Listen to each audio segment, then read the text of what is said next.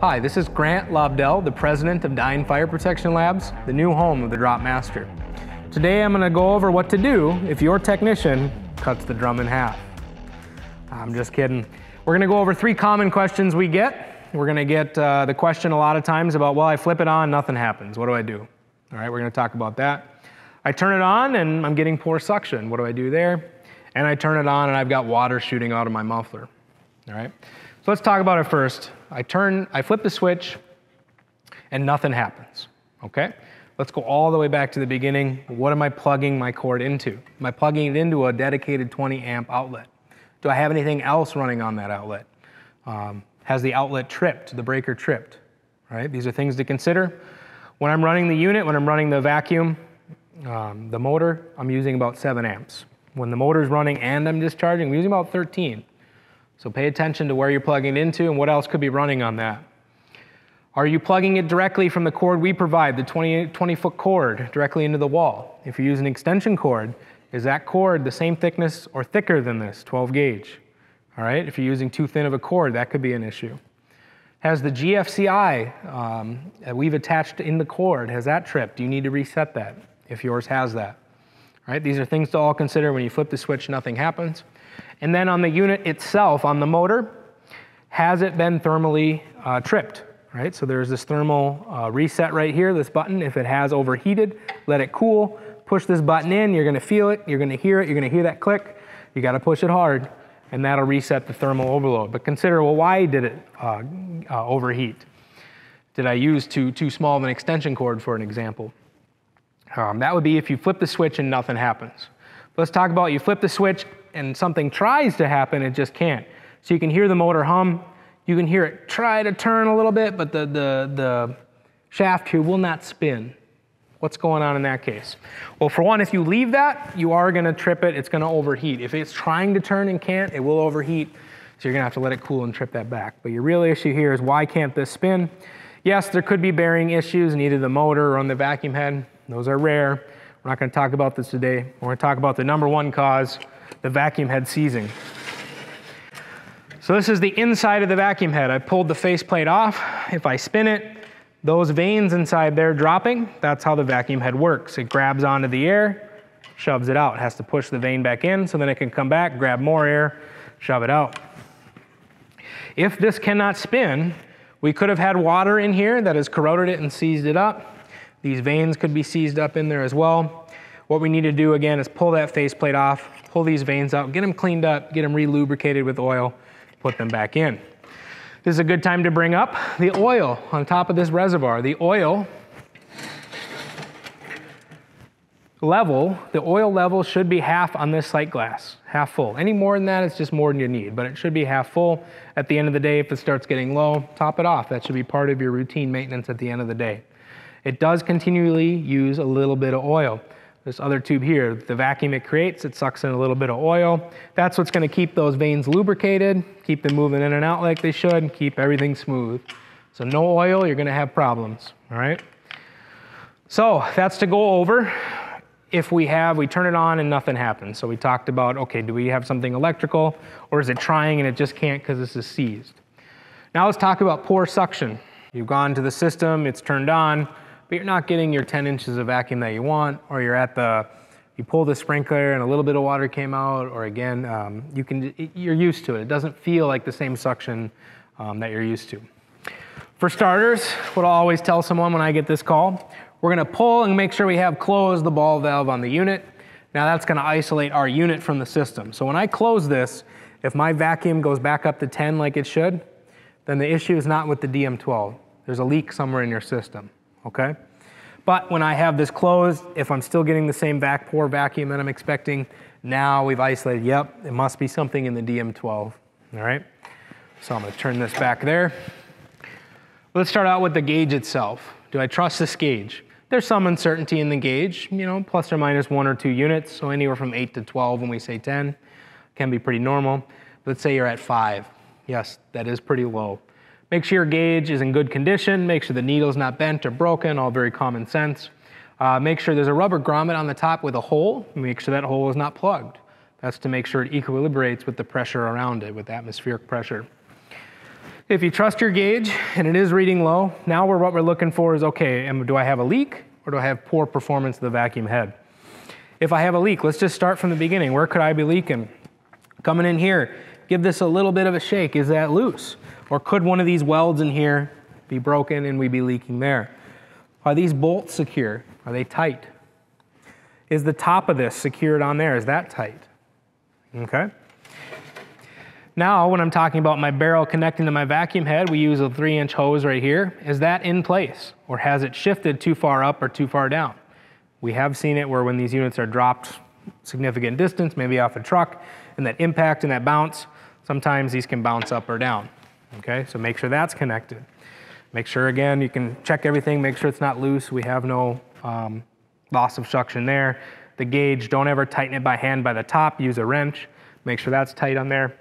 If everything looks tight and I don't seem to have a leak in the system, now let's actually look at the vacuum head. Number one, do I have oil in it, right? I need to have oil to make everything lubricated and work like it should. If you do, let's look inside the vacuum head. What can happen here? Well, what can happen again is if you have water get in here, which we'll go over to in the last segment of this video, but if I've had water go through here, these vanes can actually get stuck up in there, either the water and oil, which don't mix, but it's kind of stripped off that oil and it's not lubricated like it should, or maybe the water is absorbed into the vane, swelled up into that position, and it's just stuck there. You can imagine if none of these vanes were there, or it was just stuck up in there, nothing's gonna happen. It's not dropping down to grab the air and push it out. You'd have no vacuum in that case, all right? So if you have poor suction, those can be issues there. Let's talk about one more thing while we have it spun to this side. Let's talk about this, this uh, check valve. So this is on my discharge side. Again, you could check here, make sure there's no broken welds, make sure these are tight. What a leak you could have, very common one, is if the discharge, uh, excuse me, the check valve has not properly sealed, okay? And you can check this by just putting your hand over the end of the discharge line, either the end of the hose or the end right here. When you put your hand over it, if you feel suction, your hand's being sucked into it, that's not good right? This check valve is supposed to seal. When it's not discharging, there should be no suction here. If you have suction here, you're losing some of your suction power from the, the suction side. That could explain if your, if your valve or your gauge is reading low. Okay, so why isn't my, my check valve sealing properly? Number one, it could be the debris in the system. Always make sure you have the Y strainer. I'm gonna turn it just for a little bit for that. The Y strainer here, and make sure the basket that's inside of here is still intact. That should catch most of your debris. But, and make sure you keep that clean every day. But you can get a little bit through there. It's not perfect, right? The pump should be able to handle it. Debris will be wear and tear on your pump, but it can handle up to half inch solids. And if that gets through, if that debris from your system gets through, and right when the discharge shuts off, if it gets caught in between the clapper uh, on that swing check valve and the ground face joint, it's not going to seal properly right? And then you're going to lose a little bit of suction out of there. In most cases, the next time it discharges, then when it fills back up a little bit, it's going to clear itself out. But in some cases, the discharge might be, or excuse me, the debris may be stuck, and you may need to take this apart and clean it up. In the very worst case, the valve has been used so many times. Think of the number of times it opens and closes, and it's worn down to where it needs to be replaced. With everything on this unit, it was designed in mind where hopefully you could go to a local hardware store if you were in a pickle and get yourself something to replace it. If you're gonna replace it yourself, make sure you get the one inch swing check valve. Don't do the spring loaded ones, that'll impede the discharge flow. So I'm gonna go over one more thing on poor suction. Let's go back to the beginning when I said to close this valve. If the issue is not with the DM12, it'll go up to 10, and when you open this up, maybe some of you lose your suction, you may um, have a leak in your system. The other thing that can happen is you may have a gauge that reads 10 with it open or closed, but you have poor suction at the sprinkler. And that can be a blockage somewhere in the line, your most common culprit being this Y strainer. Maybe it's clogged, right? So if I clog it right there, sure, the vacuum's gonna read 10. I have vacuum through here, but I don't have any vacuum after the Y strainer. So that's something to keep in mind, even if your vacuum gauge reads 10, but at the sprinkler you're getting some, some water, um, you, you, again, you're used to it. It doesn't feel like the same suction. Check your Y strainer. And getting as far as port suction being at the, at the sprinkler itself, you're getting some water out. Remember, the longer the drop, you might have to go a bit slower. You might have to rock it a bit more before pulling it Don't just pull it right off. You do kind of have to rock it. It's the airflow going by that's going to bring that water with it. It can do 10 foot drops all day long, 20 foot drops. I mean, you got to go really slow. That is a lot of water. So just be careful. The longer drops you have, uh, there are limitations to any device.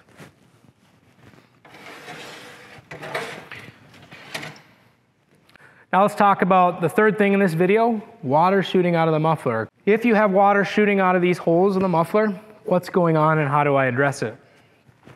Well, let's actually turn it a little bit to our, our dissected unit here. You can see from the vacuum head the air, and it'll have a little bit of oil in it, should come down here, collect, and the only air should be coming out here. But if I have water coming in here, it'll fill it up and eventually come out those holes. Why do I have water coming through here? Should only be air and oil if we're operating this thing like we want. Let's go to the front.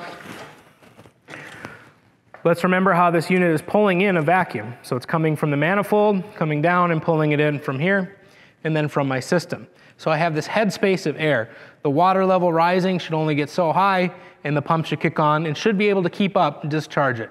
It should be discharging more than the incoming. What happens if we're not, though?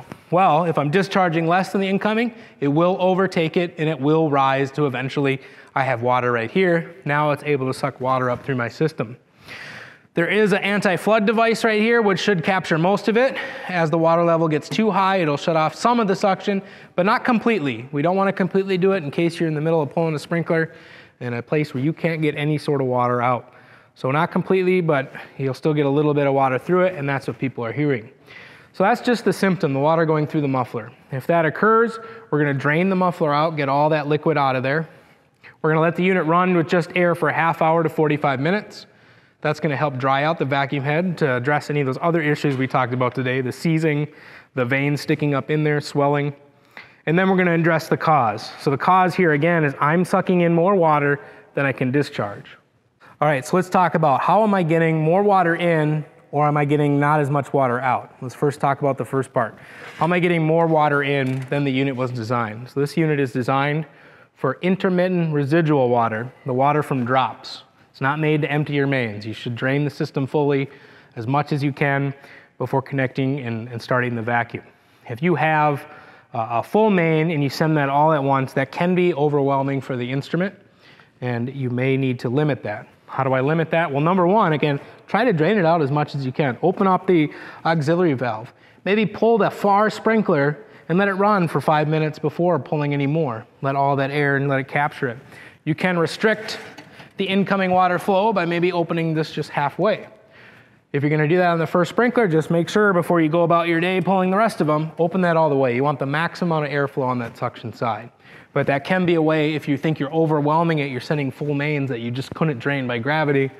The first sprinkler you pull, let it sit for five minutes, have it just halfway open. That'll keep the amount of water going in at once down. Okay? Other than that, there isn't really a way to suck more water without fiddling with the relief gauge, which never should do. We want that set at 10 just for safety reasons, so we're gonna leave that there. But there are many ways you can affect the discharge of water. You can impede it okay? Let's talk about the, the hose, the discharge side here. How can I limit that? Well, we provide you with one inch non-collapsible hose. If I were to use a collapsible hose in here, I couldn't find the one inch non-collapsible we provide, okay? But now it's gonna have to push open that hose, right? It's collapsible. Pump's gonna have to work harder. It's not gonna discharge as much. What if again, I got a garden hose and I'm gonna put an adapter on here, I'm gonna put my three quarter garden hose on it. Again, now you've restricted how much it can pump out. Now it may be able to suck more in than it can discharge out. We're only, again, we're always talking about the level of water here. We want it to get it to so high, the pump kicks on, keeps it low. Uh, that could be an instance there. The pump may not work at all. There can be issues where the pump um, is nothing's coming out. All right, in that situation, you're probably going to have to open this up and take a look at the pump. Inside the pump, there is a float that should be attached to it. If that float has come off, the pump will not kick on. How does that float come off? It could be if you transported this unit with water in it and the water sloshing down the road may be enough force. It's rare, but it may be enough force to knock that float off, which is one of the reasons we recommend always draining the unit when you're done with it before you put it away or before you drive down the road with it. All right, or the pump itself, maybe again, if you've been sucking a lot of debris, uh, the pump is worn down, if it's gone through years, it may need to be replaced. Okay? So any of those situations, there could be more. That's just a few of the common ones. If I'm getting water out of my muffler, my water level has gotten too high, my pump's not able to keep up with the incoming.